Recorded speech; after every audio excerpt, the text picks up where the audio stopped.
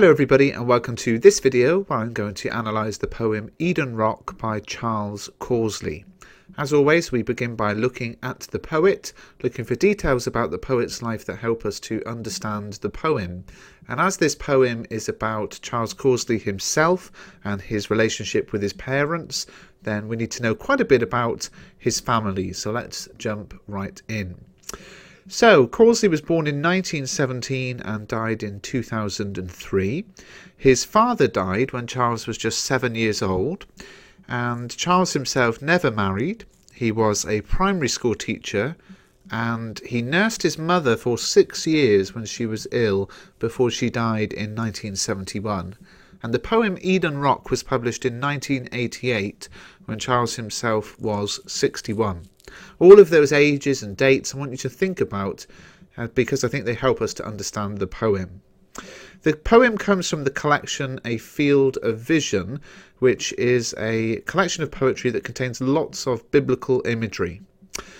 Now let's have a look at the poem. Like so many in the cluster, it's quite simple to begin with, but it gets more and more complex as we go through. So I will read through it and give you a simple line by line translation, and then we'll get into the analysis. Now, this is one of those poems where there's not really any obvious answer to some of the questions it brings up, but for us that doesn't matter, and I'll talk to you about why in a second.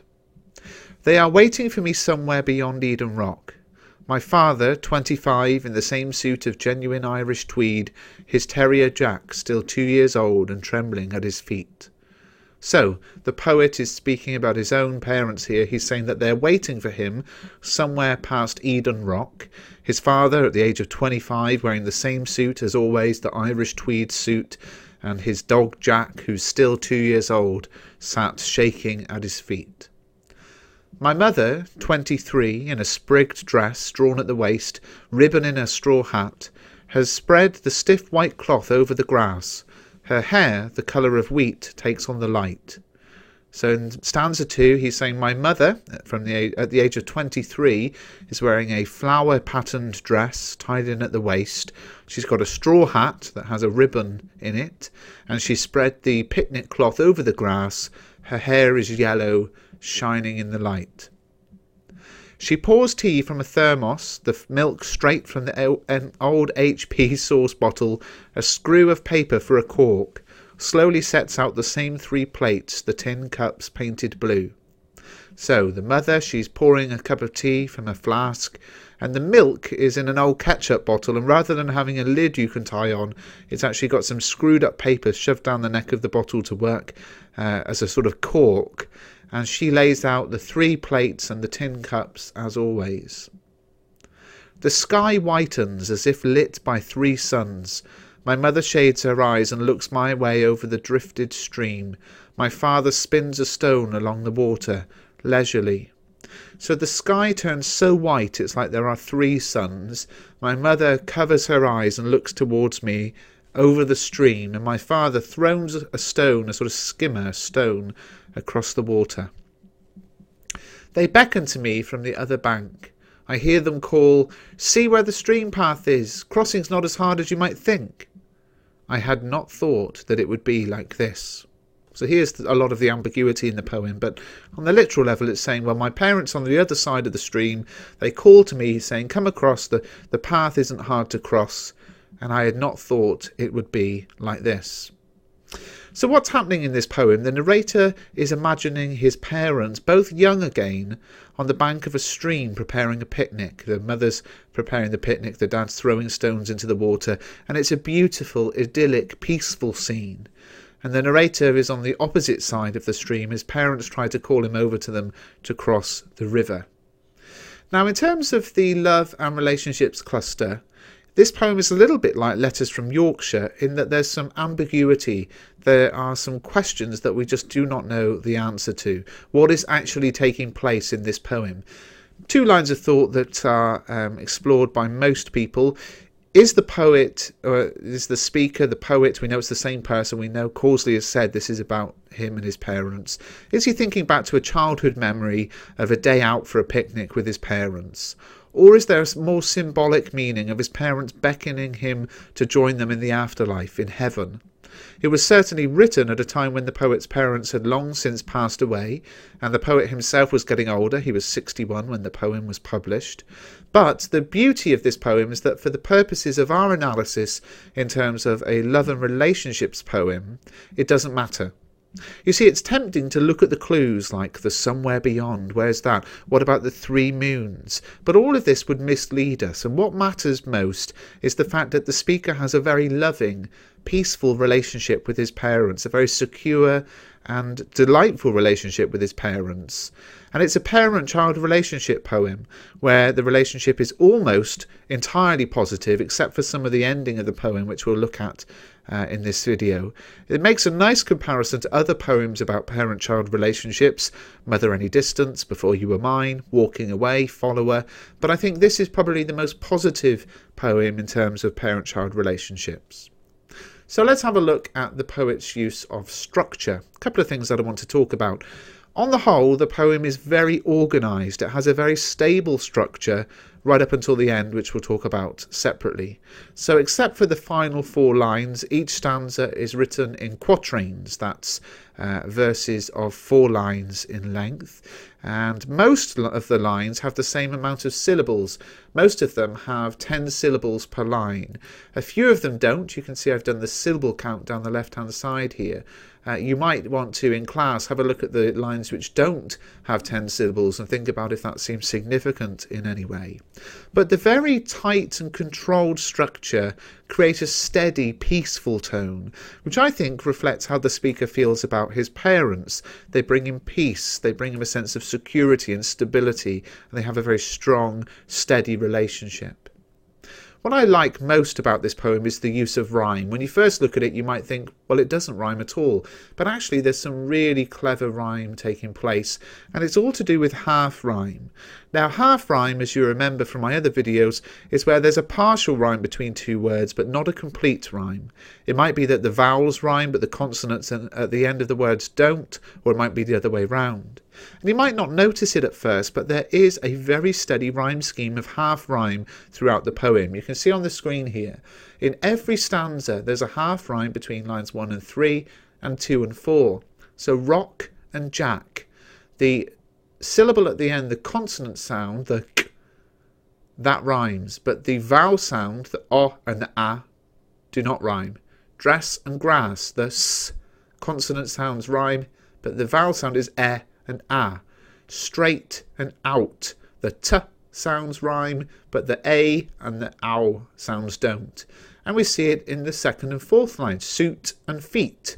It's the t t that rhymes, but not the oo or the e. Hat and light, and on it goes all the way through the entire poem.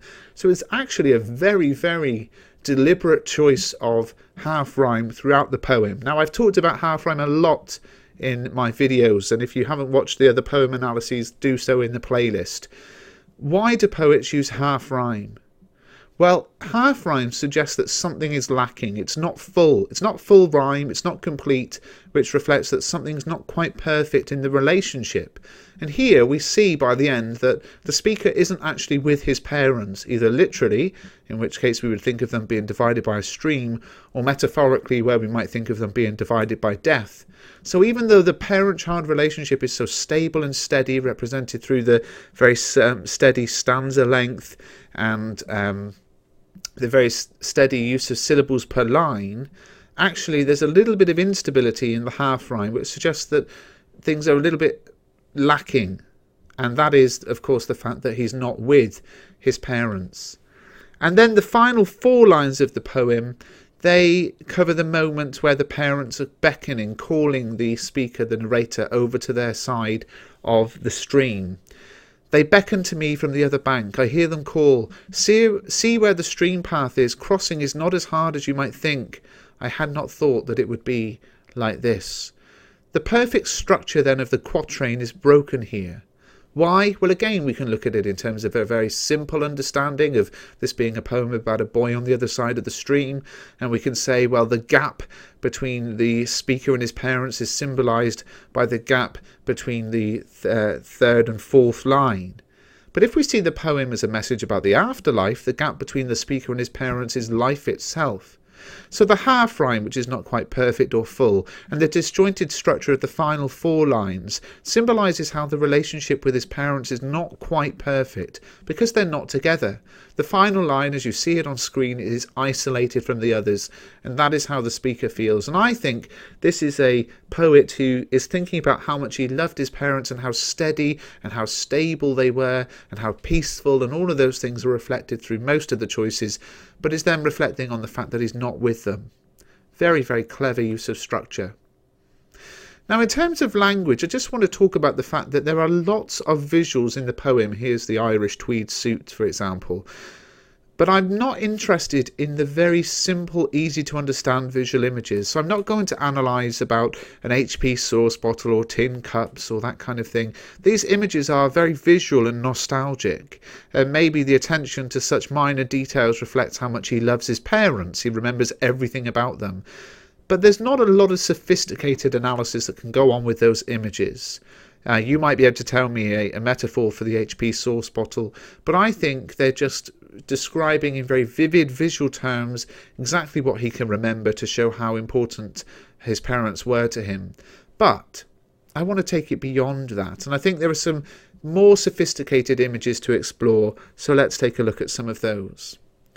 The first, of course, is the biblical imagery. Now, the poem is called Eden Rock, and that is the name of a place, but it isn't actually a real place. In fact, this is a quote from the poet. Somebody asked me the other day where Eden Rock is. I mean, I have no idea. I made it up.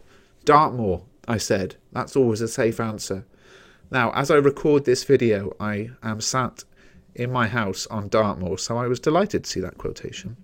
But if we know this isn't a real place, then it's twice as important. We can look at letters from Yorkshire, for example, and we can say, well, that's called letters from Yorkshire because it's about letters that are from somebody in Yorkshire, we imagine. But when we've got something called Eden Rock as a place, which is the title of the poem, and it's mentioned in the first line as the setting, and we know then that it's a fictional setting, we need to analyse why has the poet chosen to call it that. We know it's not a real place, so what's it all about? Why Eden? Well, this goes to biblical imagery. If you know your Bible, in the book of Genesis, God creates the world and he puts Adam and Eve in the Garden of Eden.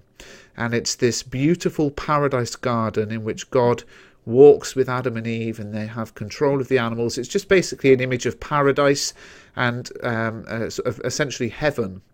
Now, or a very heavenly place, similar to uh, what the Bible says about when God comes back to the world, he will recreate the sort of perfect world that he created at the beginning.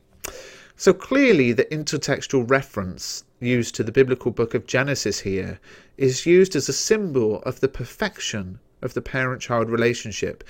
I believe Causley absolutely idolised his mum and dad, and all of the imagery he uses to describe them presents this amazing, sort of uh, surreal, beautiful, angelic, heavenly vision of them. Now, you could say, well, all the images of heaven in the Bible are because, you know, they're up in heaven and it's about dying. But again, that draws us away from the relationship analysis and gets us into just writing the plot and, and writing about the plot of the poem. And we never want to do that, okay? So we always want to find things and bring them back to love and relationships. Now, what else have we got? There's some angelic description of the mother, isn't there?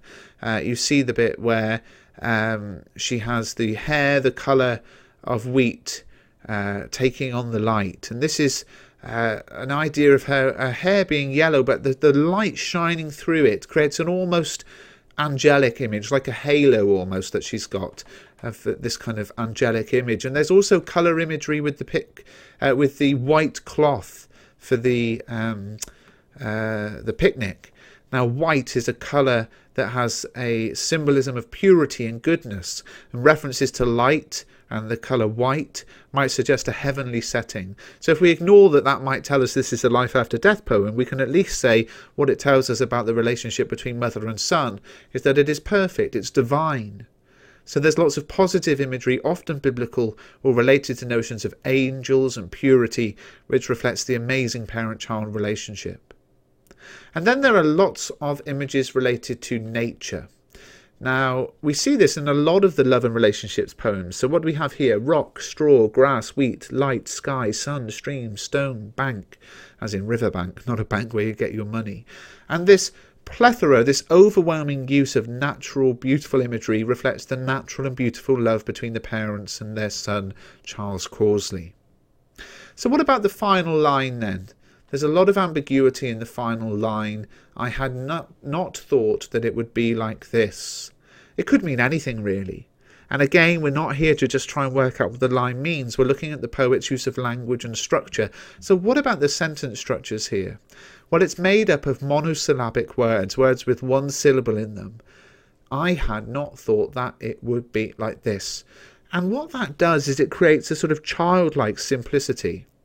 Now, if we think about the fact that Causley wrote this in the last third of his life, the poet's deliberate use of childish language, we could say, reflects his desire to be close to his parents again, like when he was a child. We know that whether this is about the afterlife or an actual memory, we know that he wasn't with his parents um, for very long, both of them together, because his dad died when he was so young.